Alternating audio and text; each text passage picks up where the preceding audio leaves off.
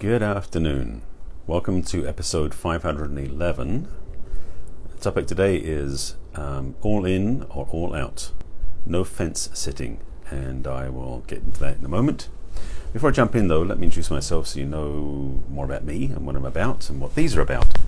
My name is Barry Selby. I am a best selling author, speaker, and relationship attraction expert. I help strong, successful women attract, sorry, excuse me, I help strong, successful women create and find balance in love, life, and business. I'm also a passionate champion for the divine feminine. And that's what inspired these daily talks that I've done for the last almost two years now. This is episode number 511. So quite a few. And the topic, sorry, the the the, the title of this series is called Messages from the Masculine to Inspire Your Feminine Heart. And the topic today is about dating relationships, which is often the case. And the topic is, and this is episode 511, if I haven't said that three times already. And the topic today is um, all in or all out, no fence sitting. And it was inspired by a meme actually, that basically you want the saying, ladies, you want a man who will leap over fences for you rather than a man who'll sit on the fence, not sure if he wants to be with you. So that's kind of where I'm going to go with this, and I want to make sure you get some takeaways from this because there's no point in if if I do this without you having some value from it. And we're going to use that lovely word commitment because that's part of what this is about, obviously. In the dating arena, sometimes people take it very casually, and their actual investment or involvement with dating is one of just take it or leave it. They're not really invested in what's going on. And in a way, looking at how you would go for maybe a job interview, how laid back would you be if you really wanted the job? A lot of people look at relationships as a less invested, less evolved, or involved, excuse me, involved commitment. And personally, I feel this is an oversight or an undersight, depending, depending how you look at it. Relationships are something that I take seriously. That's why I coach and speak about it, and I've got my second book out about it. So I do have a certain investment in this topic. If you want to go on dates, random dates, single dates, couple of dates with people, that's great. But if you want a relationship, which is not dating, it's different. There's a deeper involvement, a deeper investment, and a deeper commitment. And that's the thing about fence setting. A lot of people in relationships, I'm just feeling to gender specifics, men or women on this one. Let me just say gener- generically for now. I have a feeling it's going to split in a moment, but right now it's generic. generic. That for both men and women, there is a certain hesitancy hesitancy to commit fully to a relationship. Now, just want to split this up for a second. For men, we have a wiring assembly inside, so to speak, that puts us in a place where we are goal oriented. I've talked about this one before, so I want to give this one a spin in this context. Actually, let me hold off on. Mm, let me back, let me come to that one later. This is that's that's a that's a big piece. I want to give that one later. Let's start up first with the idea about people who want to sit on the fence because they're never willing to commit. Because for some people, this is their lifestyle preference. They'd rather stay on the fence just leading into things versus jumping fully in because they worry about making the wrong choice. Some people just to give you some more scale scaling uh, reference, are dealing with patterns from childhood where they were made wrong a lot of times by their choices. So their ability to make choices as an adult is very limited, actually very um, con- uh, not contained, wrong word. Their choices as adults are very tentative because as a child they were shown their choices were bad or wrong or incorrect or not approved of. So as an adult, they were, they're almost afraid to make the choice because they know based on what they're raised with and what their belief system is. It's all, mostly now subconscious. It's so old. It's now history. It's not even present. But making choices for them is very difficult. So that's one of the things that happens sometimes. People are unwilling to commit and make a choice to say yes for something versus no. They'd rather say I'm not sure because they're worried that the choice they make will be the wrong one because they were told that when they were younger. So that's one thing to take away. And if that's for, true for you, be aware of that because you may realize when you're looking at this, watching this video, that your own experience, your own reference point resonates for that. That you remember as a child you were made wrong for your choices, in which case uh, making choice in the current time is hard to do. And I understand that. But if you have issues with your childhood that's in the way of you making the right choices, if you sorry, if you have issues as a child that are making choices as an adult more challenging, you might want to get some help with that. I can help you with that. So let's jump into the piece I was going to talk about. We men, as said, that I hinted at, have a ability to focus very clearly. The wiring we have inside is linear, linear um, direction, singular focus. That's a skill that we have, and it's also a price we pay for the way we work. Meaning that we are people who, we as men, are part of the population that to be effective has to have goals in front of us to achieve because what happens is we are looking for the next thing to achieve, the next goal, the next milestone, the next achievement that keeps us going where we want to go. So for some men, when they achieve a goal, they give up because they've done their job. They've gotten to the goal. Like I've achieved it. I'm there. I'm successful, and now I don't need to do anything because I've already achieved it. There's a story about how um, it was Neil Armstrong and Buzz Aldrin, I believe, in the Apollo mission when they came back to Earth. Neil Armstrong's life went somewhat downhill. Buzz Aldrin's life went somewhat uphill because at the time Buzz Aldrin had, because when you, you know, so you've gone to the moon, it's like, what on earth is after that? You've basically done everything you can do. Nothing can go bigger than that. But for Buzz, it was an idea about setting up new goals, new milestones, and he kept going. He still is going, as far as I remember. I think he's still around. Um, but Neil Armstrong had landed on the moon. He walked to the moon. He's basically like, I'm done now. I've achieved the biggest goal, nothing else to go after this. So his life went down in quality, in experience, and in success after that because there's nothing nothing to go for after that. In fact, no, was it Neil Armstrong? It was the other one. There were three, and now this uh, was it Lowell?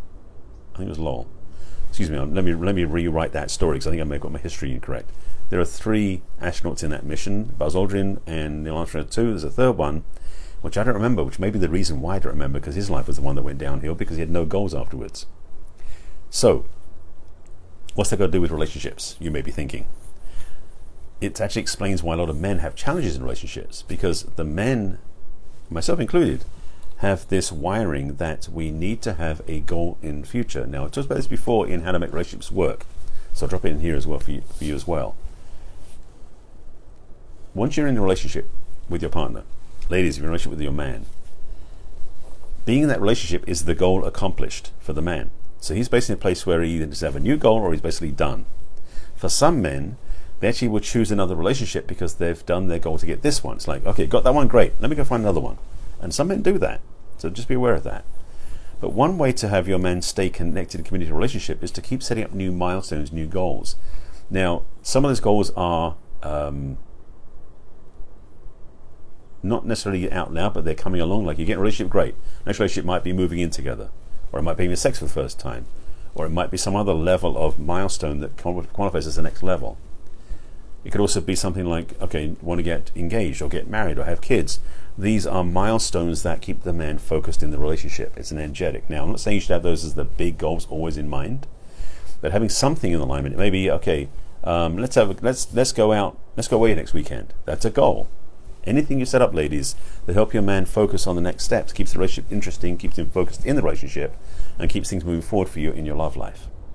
And so, having things that are inspiring along the way if you drop into a routine, it can get very routine.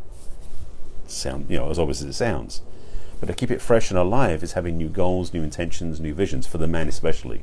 Now, ladies, your general experience in relationship is usually an ongoing experience because you have this ability to enjoy the journey. You know, smelling the roses on the road to the journey. For the men, it's like what roses? We're focused on the goal.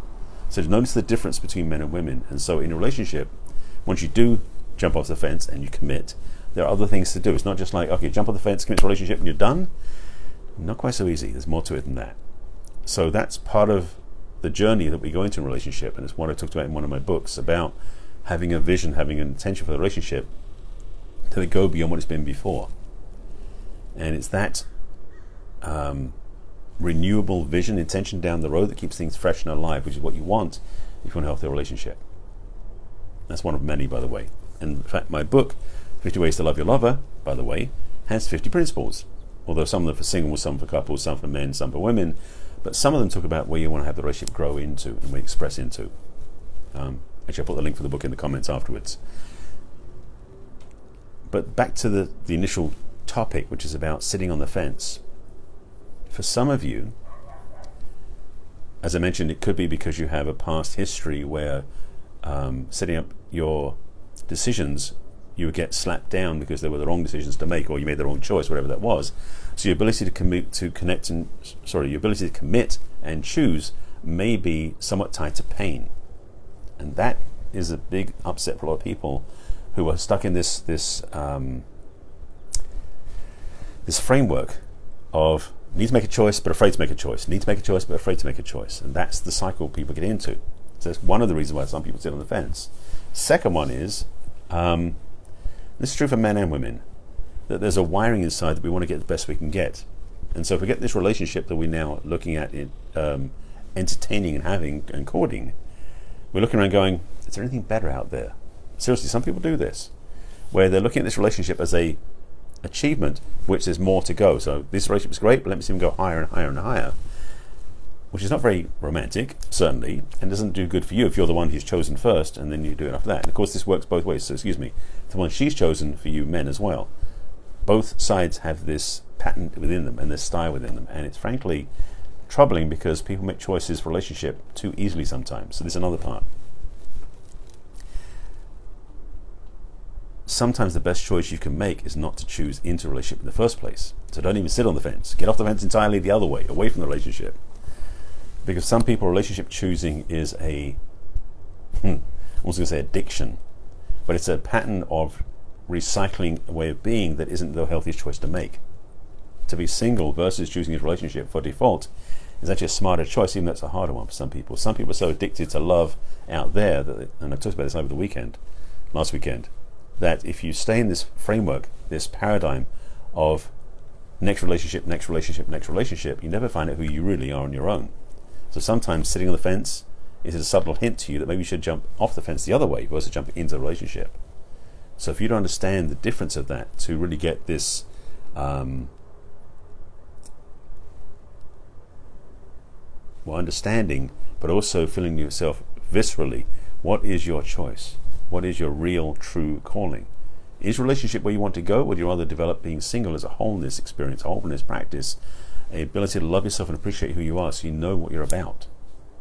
Because that, for some people, is an unknown quantity. They've never done it before. So sitting on the fence is a um, challenging place. So my suggestion to you is three things.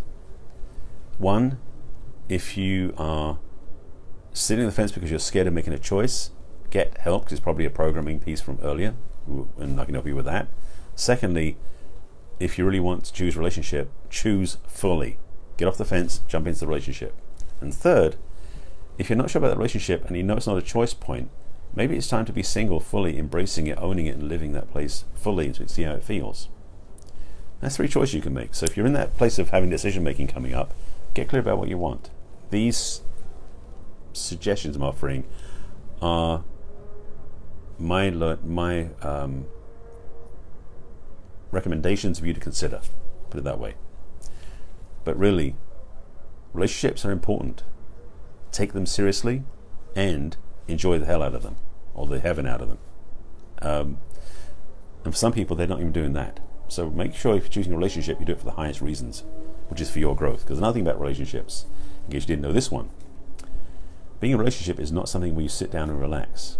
A relationship is where you grow. For some people, that's another reason they won't commit because they're scared of the, what's in the relationship. They're so tempted because it's loving and it's immersive and it's sex and all these great things, but they also know the work's going to be involved and required when they get into it. Sometimes people are afraid to put those two together. So I've given you stuff to think about. I know this is just a um, a smorgasbord of fence choices. so it's been of value to you. I'll put the link, by the way, I said I'll put the link in for my book into the comments. Also, I'll put the link into my self love practice because some people need to learn that first. Self love before loving somebody else. Big lesson. Um, if you have questions or comments, please reach out to me if you want some help. Um, if you have questions about this broadcast, please put in the comments below. I will post this onto YouTube and onto my podcast at some point, and the links I'll give you those now is if you want to watch the replay of this, well, if you're watching the replay of this, you're probably watching it on my business page on Facebook, which is barryselby.author. I do post it some other places too, but that's the best place to find it. You can also watch it on YouTube with all my other broadcasts in one playlist called Messages for the Masculine on my channel, which is Barry Selby, which is all, all my social media is Barry Selby. And please subscribe to my channel if you do watch it there. And thirdly, it will be on my podcast at some point. The audio format will be on iTunes, also under Messages for the Masculine. You can subscribe and download there. Good place to listen if you're driving somewhere and you can't watch the screen, or if you're riding a bike or exercising, whatever you're doing, you can listen to my talks that way too. That I think is that. I appreciate you watching as always. This is a funky subject, and it was actually sticking me a few points, so you may have noticed that in my talk. I hope it's been of value to you. And as always, these talks are in, meant to inspire. I'll be doing my talk tomorrow, same time, same channel. Uh, that'll be number 512. I'm not sure, but it'll be 5 p.m. Pacific time tomorrow. So join, so join me then for another talk. If you want to, there should be somewhere on this screen or around the broadcast an indication where you can get notified when I go live. Make sure you do that so you can watch me next time when I go live. And uh, with that, I thank you for watching. I'll see you again tomorrow. You take care of yourselves and uh, love yourself first fundamental way of living life. I'll see you again tomorrow. Bye.